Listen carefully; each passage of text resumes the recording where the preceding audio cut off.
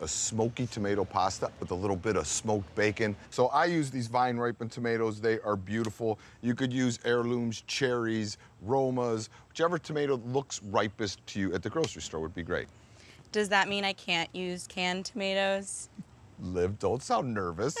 I always let you substitute. You can use canned tomatoes. The beauty of a canned tomato is it's already super sweet. But you're gonna wanna drain off the liquid before you smoke them. You can reserve that liquid, then add it to your pan. Go liberal with the salt. So I could do this on an oven indoors, right? You could do this on an oven indoor. You won't get the smokiness. But remember, we're doing this with bacon, so you will get some smokiness from the bacon. Cracked black pepper, and so then, liberal douse of olive oil.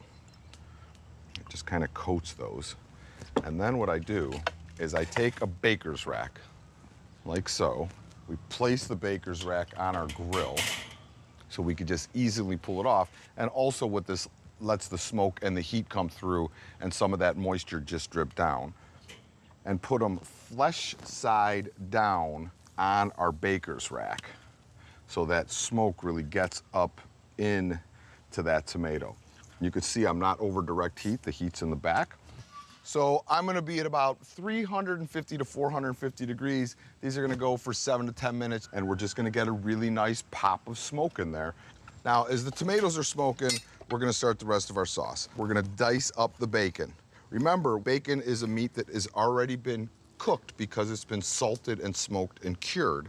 So what we're doing now is we're cooking it to make it crispy, but it's already been cooked, so we're not throwing raw meat down on a cutting board, so to speak. Could I use like another meat if I was in the mood for something else? Yes, sausage would be great. You could use some of the Italian cured meat like pancetta or guanciale, which are different versions of bacon, but they haven't been smoked. Those would also work very nicely in there. So now we have our onion. Just put a full dice on this guy. We left the roots on because we're gonna dice it. If we're gonna slice it, we take the roots off. Went about 90% back down the middle, like so. Then we spin it, flat end is towards us. Go 90% of the way through again. I love watching you cut onions. Split it so the flat side is away towards my right hand. And I go straight down and those are perfectly diced for our pasta. I'm gonna give my bacon a little stir. That's just starting to crisp. And in this preparation, we're gonna go about mid-crisp. This isn't like bacon with your breakfast. You want it to render fat, gets slightly crispy, but it doesn't have to be crunchy crispy because it's gonna break down in the sauce anyhow. Always use fresh garlic when you can. Remember, you could buy whole heads of garlic, store them in a cool, dark place, and they last for a long time. Garlic is ready to go. For the herbs, I went back to the garden, cut a little bit of fresh oregano, a little bit of fresh thyme, other herbs, rosemary would be good. Any of these kind of hardy herbs would be really nice in here. So that is ready so I can pull it out. If you were using dry herbs, would you add them at the same time? A hardy herb and dry herbs you could add at the same time. If you were using dry herbs though, Liv, you would only use a third as much because they're a little more potent. So come over here. See how the bacon, it's like starting to crisp, but it's still got a little bit of fat still in there. Now we're gonna add the onions. And I'm still gonna put a small pinch of salt in with my onions and garlic, like a two finger pinch, not a big four finger pinch. And all this caramelization on the bottom of the pan is really gonna add a lot of flavor for us. Garlic goes in, I'm gonna put in some chili flakes. If you don't like spice, you can omit the chili flakes. We then take our herbs, tie the string around so we can pull them out easy. A little bit of white wine. Do you have to use white wine? Could I use red? Red would be delicious. Or you could use no, if you don't have wine or you don't drink wine, you could omit the wine. But when I add that wine, I take my wooden spoon and I scrape the bottom of my pan to get all that great caramelization that we achieved with the bacon back up into our sauce, which is where the flavor is. Liv, why are you looking away? The heat's It is getting really smoky. All right, so that's looking good. The wine's gonna reduce by about half. Look at my tomatoes here. This is what we want. The skins just start popping right off.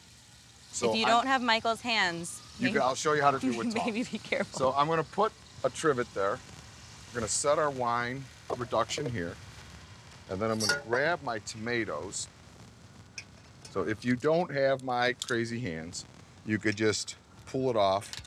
The little extra heat not only adds smoke, but it also brings out some sweetness. And you pulled some of that water out of the tomato, which intensifies the tomato flavor. So this is gonna go back on.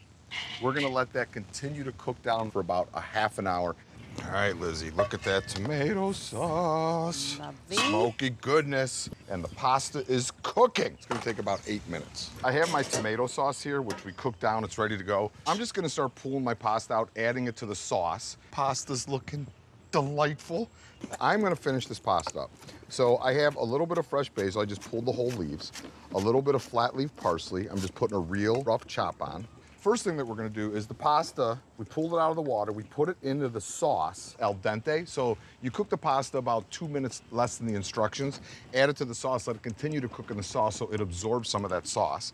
Then I'm gonna take a little bit of pasta water, about three, four ounces, and give that a stir. And that just helps the noodles stick to the sauce and it's all coming together in a really happy place now. Now I take it off the heat. I'm gonna put in a nub of butter,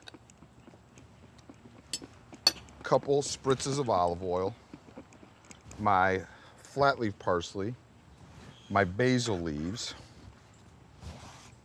and then I put some Parmesan in now too. Now, if you were put this over direct heat and you did it, the Parmesan would become a stringy mess. So you do this all off the heat. Love Look it. at that, those Looks nice delicious. Chunks nice of the fresh coated, But tomatoes. not too saucy. This pasta looks perfectly cooked. I'm Thank very you. impressed with Yeah, it. you know. You could taste a little bit of the smoke from the grill for that.